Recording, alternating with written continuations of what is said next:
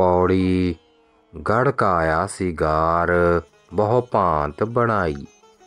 ਮਾਇਆ ਧਾਰੀ ਮਨੁੱਖ ਸਰੀਰ ਰੂਪ ਕਿਲੇ ਉੱਤੇ ਕਈ ਕਿਸਮਾਂ ਦੇ ਸ਼ਿੰਗਾਰ ਬਣਾਉਂਦੇ ਹਨ।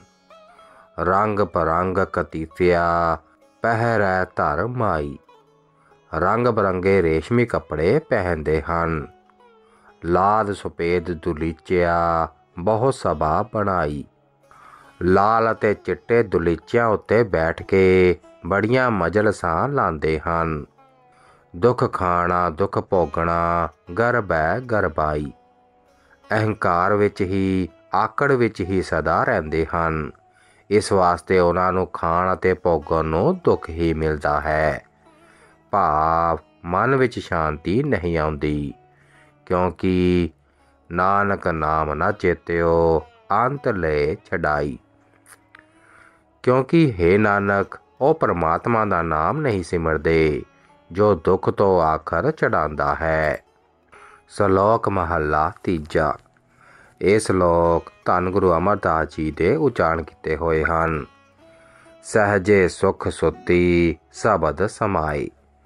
ਜਿਹੜੀ ਜੀਵ ਇਸਤਰੀ ਗੁਰੂ ਦੇ ਸ਼ਬਦ ਵਿੱਚ ਲੀਨ ਹੋ ਕੇ ਅਡੋਲ ਅਵਸਥਾ ਵਿੱਚ, ਸ਼ਾਂਤ ਅਵਸਥਾ ਵਿੱਚ ਟਿਕਦੀ ਹੈ। ਆਪੇ ਪ੍ਰਭ ਮੇਲ ਲਈ ਗੱਲ ਲਾਏ। ਉਸ ਨੂੰ ਪ੍ਰਭੂ ਨੇ ਆਪ ਹੀ ਪਿਆਰ ਨਾਲ ਮਿਲਾ ਲਿਆ ਹੈ। ਦੁਬਦਾ ਚੁਕੀ ਸਹਿਜ ਸੁਪਾਈ ਆਤਮਕ ਅਡੋਲਤਾ ਵਿੱਚ, ਪ੍ਰੇਮ ਵਿੱਚ ਟਿਕੇ ਰਹਿਣ ਦੇ ਕਾਰਨ ਉਸ ਦਾ ਦੁਚਿੱਤਾਪਨ ਦੂਰ ਹੋ ਜਾਂਦਾ ਹੈ। ਅੰਤਰ ਨਾਮ ਵਸਿਆ ਮਨ ਆਏ। ਉਸ ਦੇ ਅੰਦਰ ਮਨ ਵਿੱਚ ਪ੍ਰਭੂ ਦਾ ਨਾਮ ਆ ਵਸਦਾ ਹੈ। ਸੇ ਕੰਠ ਲਾਏ, ਜੇ ਭੰਨ ਕੜਾਏ। ਉਹਨਾਂ ਜੀਵਾਂ ਨੂੰ ਪ੍ਰਭੂ ਆਪਣੇ ਗਲ ਨਾਲ ਲਾਂਦਾ ਹੈ, ਜੋ ਆਪਣੇ ਮਨ ਦੇ ਪਹਿਲੇ ਸੁਭਾਅ ਨੂੰ ਤੋੜ ਕੇ ਨਵੇਂ ਸਿਰੇ ਸੋਹਣਾ ਬਣਾਉਂਦੇ ਹਨ। ਨਾਨਕ, ਜੋ ਤੁਰ ਮਿਲੇ ਸੇ ਹੁਣ ਆਣ ਮਿਲਾਏ। ਏ ਨਾਨਕ, ਜਿਹੜੇ ਮਨੁੱਖ ਤੁਰੋ ਹੀ ਪ੍ਰਭੂ ਨਾਲ ਮਿਲੇ ਚਲੇ ਆ ਰਹੇ ਹਨ। ਉਹਨਾਂ ਨੂੰ ਇਸ ਜਨਮ ਵਿੱਚ ਵੀ ਲਿਆ ਕੇ ਆਪਣੇ ਵਿੱਚ ਮਿਲਾਈ ਰੱਖਦਾ ਹੈ। ਮਹੱਲਾ ਤੀਜਾ। ਇਹ ਬਾਣੀ ਧੰਨ ਗੁਰੂ ਅਮਰਦਾਸ ਜੀ ਦੀ ਉਚਾਰਨ ਕੀਤੀ ਹੋਈ ਹੈ। ਜਿਨਨੀ ਨਾਮ ਵਿਸਾਰਿਆ, ਕਿਆ ਜਪ ਜਪ ਹੈ ਹੋਰ। ਜਿਨ੍ਹਾਂ ਮਨੁੱਖਾਂ ਨੇ ਪ੍ਰਭੂ ਦਾ ਨਾਮ ਵਿਸਾਰਿਆ ਹੈ, ਕਿਸੇ ਹੋਰ ਰਸ ਵਿੱਚ ਪੈ ਕੇ ਜਪ ਜਪਣ ਦਾ ਉਹਨਾਂ ਨੂੰ ਕੋਈ ਲਾਭ ਨਹੀਂ ਹੋ ਸਕਦਾ। ਬਿਸਤਾ ਅੰਦਰ ਕੀਟ ਸੇ, ਮੁੱਠੇ ਧੰਦਾ ਚੋਰ। ਕਿਉਂਕਿ ਜਿਨ੍ਹਾਂ ਨੂੰ ਦੁਨੀਆ ਦੇ ਜੰਜਾਲ ਰੂਪ ਚੋਰ ਨੇ ਠੱਗਿਆ ਹੋਇਆ ਹੈ, ਉਹ ਇਉਂ ਵਿਲਿਓ ਵਿਲਿਓ ਕਰਦੇ ਹਨ, ਜਿਵੇਂ ਵਿਸ਼ਟਾਂ ਦੇ ਕੀੜੇ। ਨਾਨਕ, ਨਾਮ ਨਾ ਵਿਸਰੈ, ਝੂਠੇ ਲਾਲਚ ਹੋਰ। ਏ ਨਾਨਕ, ਇਹੀ ਅਰਦਾਸ ਕਰ ਕਿ ਪ੍ਰਭੂ ਦਾ ਨਾਮ ਨਾ ਭੁੱਲੇ। ਹੋਰ ਸਾਰੇ ਲਾਲਚ ਵਿਅਰਥ ਹਨ। ਪੌੜੀ, ਨਾਮ ਸਲਾਹਨ, ਨਾਮ ਮਨ, ਅਸਥਿਰ ਜਗ ਸੋਈ। ਜਿਹੜੇ ਮਨੁੱਖ ਪਰਮਾਤਮਾ ਦੀ ਸਿਫਤ ਸਲਾਹ ਕਰਦੇ ਹਨ, ਪਰਮਾਤਮਾ ਦਾ ਨਾਮ ਆਪਣੇ ਮਨ ਵਿੱਚ ਵਸਾਈ ਰੱਖਦੇ ਹਨ। ਉਹੀ ਜਗਤ ਵਿੱਚ ਅਟਲ, ਆਤਮਿਕ ਜੀਵਨ ਵਾਲੇ ਬਣਦੇ ਹਨ। ਹਿਰਦੈ ਹਰ ਹਰ ਚਿਤਵੈ, ਦੂਜਾ ਨਹੀਂ ਕੋਈ। ਏ ਭਾਈ, ਗੁਰੂ ਦੇ ਸਨਮੁਖ ਰਹਿਣ ਵਾਲਾ ਜਿਹੜਾ ਮਨੁੱਖ ਆਪਣੇ ਹਿਰਦੇ ਵਿੱਚ ਹਰ ਵੇਲੇ ਪਰਮਾਤਮਾ ਨੂੰ ਯਾਦ ਕਰਦਾ ਹੈ। ਪਰਮਾਤਮਾ ਤੋਂ ਬਿਨਾ ਕਿਸੇ ਹੋਰ ਨੂੰ ਮਨ ਵਿੱਚ ਨਹੀਂ ਵਸਾਂਦਾ। ਰੋਮ ਰੋਮ, ਹਰ ਉਚਰੈ, ਖਿਨ ਖਿਨ ਹਰ ਸੋਈ। ਜਿਹੜਾ ਮਨੁੱਖ ਰੋਮ ਰੋਮ ਪ੍ਰਭੂ ਨੂੰ ਯਾਦ ਕਰਦਾ ਹੈ, ਹਰ ਖਿਨ ਉਸ ਪਰਮਾਤਮਾ ਨੂੰ ਹੀ ਯਾਦ ਕਰਦਾ ਰਹਿੰਦਾ ਹੈ। ਗੁਰਮੁਖ ਜਨਮ ਸਕਾਰ ਥਾ ਨਿਰਮਲ ਮਲ ਖੋਈ। ਉਸ ਦੀ ਜ਼ਿੰਦਗੀ ਕਾਮਯਾਬ ਹੋ ਜਾਂਦੀ ਹੈ, ਉਹ ਪਵਿੱਤਰ ਜੀਵਨ ਵਾਲਾ ਹੋ ਜਾਂਦਾ ਹੈ। ਉਹ ਮਨੁੱਖ ਆਪਣੇ ਅੰਦਰੋਂ ਵਿਕਾਰਾਂ ਦੀ ਮੈਲ ਦੂਰ ਕਰ ਲੈਂਦਾ ਹੈ। ਨਾਨਕ, ਜੀਵ ਦਾ ਪੁਰਖ ਧਿਆਇਆ ਅਮਰਾ ਪਦ ਹੋਈ। ਏ ਨਾਨਕ, ਜਿਹੜਾ ਮਨੁੱਖ ਸਦਾ ਕਾਇਮ ਰਹਿਣ ਵਾਲੇ ਸਰਵ ਵਿਆਪਕ ਪਰਮਾਤਮਾ ਨੂੰ ਯਾਦ ਕਰਦਾ ਰਹਿੰਦਾ ਹੈ ਉਸ ਨੂੰ ਅਟਲ ਆਤਮਿਕ ਜੀਵਨ ਵਾਲਾ ਦਰਜਾ ਮਿਲ ਜਾਂਦਾ ਹੈ। ਉਹ ਮਨੁੱਖ ਆਤਮਿਕ ਜੀਵਨ ਦੀ ਉਸ ਉੱਚਤਾ ਤੇ ਪਹੁੰਚਦਾ ਹੈ। ਜਿੱਥੇ ਮਾਇਆ ਦੇ ਹੱਲੇ ਉਸ ਨੂੰ ਡੁਲਾ ਨਹੀਂ ਸਕਦੇ। ਸ਼ਲੋਕ ਮਹੱਲਾ ਤੀਜਾ। ਇਹ ਸ਼ਲੋਕ ਧੰਨ ਗੁਰੂ ਅਮਰਦਾਸ ਜੀ ਦੇ ਉਚਾਰਨ ਕੀਤੇ ਹੋਏ ਹਨ। ਜਿਨੀ ਨਾਮ ਵਿਸਾਰਿਆ, ਬਹੁ ਕਰਮ ਕਮਾਵੈ ਹੋਰ। ਜਿਨ੍ਹਾਂ ਮਨੁੱਖਾਂ ਨੇ ਪਰਮਾਤਮਾ ਦਾ ਨਾਮ ਭੁਲਾ ਦਿੱਤਾ ਹੈ ਅਤੇ ਹੋਰ ਹੋਰ ਕਈ ਕੰਮ ਕਰਦੇ ਹਨ।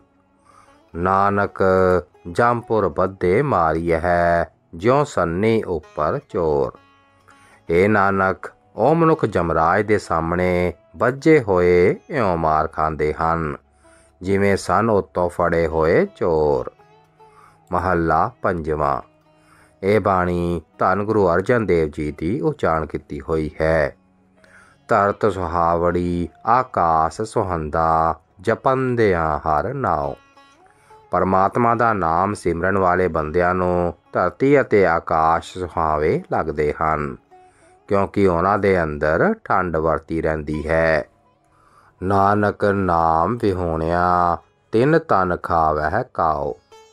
ਪਰ ਹੈ ਨਾਨਕ, ਜਿਹੜੇ ਮਨੁੱਖ ਨਾਮ ਤੋਂ ਸਖਣੇ ਹਨ, ਉਹਨਾਂ ਦੇ ਸਰੀਰ ਨੂੰ ਵਿਸ਼ੇ ਵਿਕਾਰ ਕਾਂ ਹੀ ਖਾਂਦੇ ਰਹਿੰਦੇ ਹਨ ਅਤੇ ਉਹਨਾਂ ਦੇ ਅੰਦਰ ਵਿਸ਼ੇ ਰੋਗ ਹੋਣ ਕਰਕੇ ਉਹਨਾਂ ਨੂੰ ਪ੍ਰਭੂ ਦੀ ਕੁਦਰਤ ਵਿੱਚ ਕੋਈ ਸੁੰਦਰਤਾ, ਸੁਹਾਵਣੀ ਨਹੀਂ ਲੱਗਦੀ।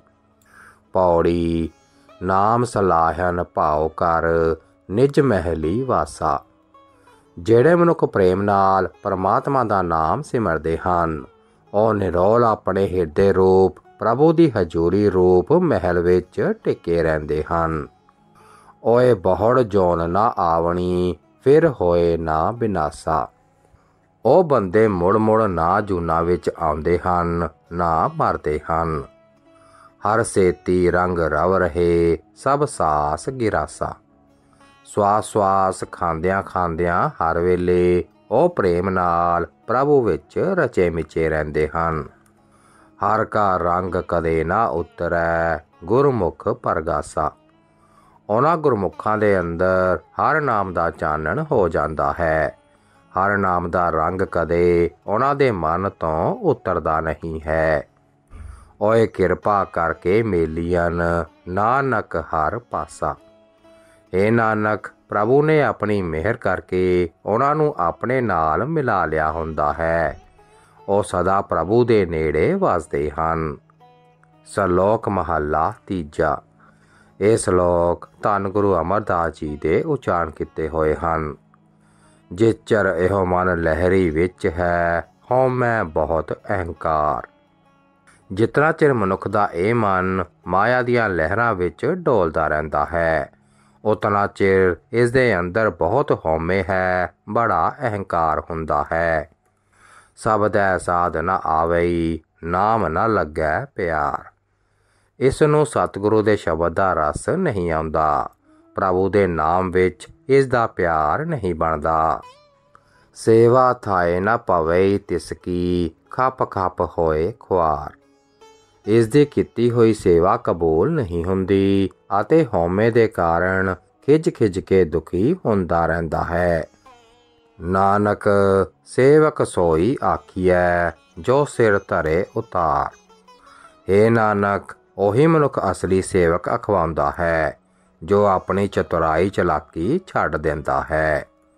ਸਤਗੁਰ ਕਾ ਭਾਣਾ ਮੰਨ ਲੈ, ਸਬਦ ਰੱਖੈ ਔਰ ਤਾਰ ਸਤਿਗੁਰੂ ਦਾ ਭਾਣਾ ਕਬੂਲ ਕਰਦਾ ਹੈ ਅਤੇ ਗੁਰੂ ਦੇ ਸ਼ਬਦ ਨੂੰ ਹਿਰਦੇ ਵਿੱਚ ਪਰੋ ਰੱਖਦਾ ਹੈ। ਮਹੱਲਾ ਤੀਜਾ। ਇਹ ਬਾਣੀ ਧੰਨ ਗੁਰੂ ਅਮਰਦਾਸ ਜੀ ਦੀ ਉਚਾਰਨ ਕੀਤੀ ਹੋਈ ਹੈ। ਸੋ ਜਪ ਤਪ ਸੇਵਾ ਚਾਕਰੀ, ਜੋ ਖਸਮੈ ਪਾਵੈ ਜਿਹੜੀ ਕਾਰ ਮਾਲਕ ਪ੍ਰਭੂ ਨੂੰ ਪਸੰਦ ਆ ਜਾਏ, ਉਹੀ ਕਾਰ ਸੇਵਕ ਦਾ ਜਪ ਹੈ, ਤਪ ਹੈ ਅਤੇ ਸੇਵਾ ਚਾਕਰੀ ਹੈ। ਆਪੇ ਬਖਸੇ ਮੇਲ ਲੈ, ਆਪਤ ਗਵਾਵੇ। ਜਿਹੜਾ ਮਨੁੱਖ ਆਪਾ ਭਾ ਮਿਟਾਂਦਾ ਹੈ ਉਸ ਨੂੰ ਪ੍ਰਭੂ ਆਪ ਹੀ ਮਿਹਰ ਕਰਕੇ ਆਪਣੇ ਨਾਲ ਮਿਲਾ ਲੈਂਦਾ ਹੈ। ਮਿਲਿਆ ਕਦੇ ਨਾ ਵਿਛੜੈ, ਜੋਤੀ ਜੋਤ ਮਿਲਾਵੇ। ਅਤੇ ਪ੍ਰਭੂ ਚਰਨਾਂ ਵਿੱਚ ਮਿਲਿਆ ਹੋਇਆ ਅਜਿਹਾ ਬੰਦਾ ਮੁੜ ਕਦੇ ਵਿਛੜਦਾ ਨਹੀਂ ਹੈ। ਉਸ ਦੀ ਆਤਮਾ ਪ੍ਰਭੂ ਦੀ ਆਤਮਾ ਨਾਲ ਇੱਕ ਮਿਕ ਹੋ ਜਾਂਦੀ ਹੈ। ਨਾਨਕ ਗੁਰ ਪ੍ਰਸਾਦੀ ਸੋ ਬੁੱਝ ਸੀ, ਜਿਸ ਆਪ 부ਝਾਵੇ ਏ ਨਾਨਕ, ਇਸ ਭੇਤ ਨੂੰ ਗੁਰੂ ਦੀ ਕਿਰਪਾ ਨਾਲ ਉਹੀ ਮਨੁੱਖ ਸਮਝਦਾ ਹੈ ਜਿਸ ਨੂੰ ਪ੍ਰਭੂ ਆਪ ਸਮਝ ਬਖਸ਼ਦਾ ਹੈ। ਪੌੜੀ ਸਭ ਕੋ ਲੇਖੇ ਵਿੱਚ ਹੈ ਮਨਮੁਖ ਅਹੰਕਾਰੀ। ਹਰੇਕ ਜੀਵ ਨੂੰ ਉਸ ਮਰਿਆਦਾ ਦੇ ਅੰਦਰ ਤੁਰਨਾ ਪੈਂਦਾ ਹੈ, ਜੋ ਪ੍ਰਭੂ ਨੇ ਜੀਵਨ ਜੁਗਤ ਲਈ ਮਿੱਥੀ ਹੋਈ ਹੈ।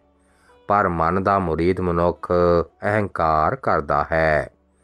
ਭਾਵ ਉਸ ਮਰਿਆਦਾ ਤੋਂ ਆਕੀ ਹੋਣ ਦਾ ਯਤਨ ਕਰਦਾ ਹੈ। ਹਰ ਨਾਮ ਕਦੇ ਨਾ ਚੇਤੇਈ, ਜਮ ਕਾਲ ਸਿਰ ਮਾਰੀ।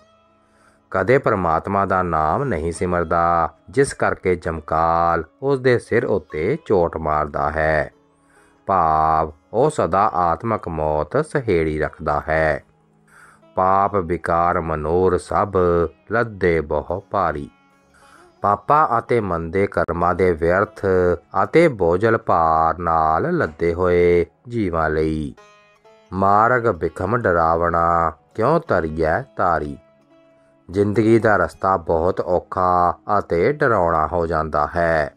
ਇਸ ਸੰਸਾਰ ਸਮੁੰਦਰ ਵਿੱਚੋਂ ਉਹਨਾਂ ਪਾਸੋਂ ਤਰਿਆ ਨਹੀਂ ਜਾ ਸਕਦਾ। ਨਾਨਕ ਗੁਰ ਰਾਖੇ ਸੇ ਉਬਰੇ ਹਰ ਨਾਮ ਉਧਾਰੀ। ਏ ਨਾਨਕ, ਜਿਨ੍ਹਾਂ ਦੀ ਸਹਾਇਤਾ ਗੁਰੂ ਨੇ ਕੀਤੀ ਹੈ, ਉਹ ਪਚ ਨਿਕਲਦੇ ਹਨ। ਪ੍ਰਭੂ ਦੇ ਨਾਮ ਨੇ ਉਹਨਾਂ ਨੂੰ ਬਚਾ ਲਿਆ ਹੁੰਦਾ ਹੈ। ਵਾਹਿਗੁਰੂ ਜੀ ਕਾ ਖਾਲਸਾ ਵਾਹਿਗੁਰੂ ਜੀ ਕੀ ਫਤਿਹ।